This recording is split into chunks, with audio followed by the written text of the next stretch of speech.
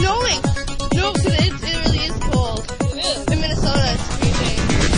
Not nice, because it's just, like, really cold. Yeah. Cool, huh? Well, We're in Taekwondo today, in Oklahoma, at, like, 1 o'clock for birthday party. Doing a cool